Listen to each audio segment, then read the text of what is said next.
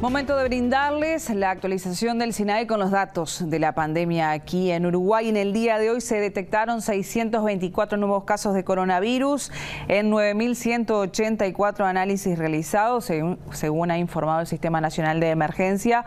Hoy se han confirmado 18 fallecimientos con diagnóstico de SARS-CoV-2. Hasta el momento son 5.790 las defunciones con diagnóstico de COVID-19 aquí en Uruguay.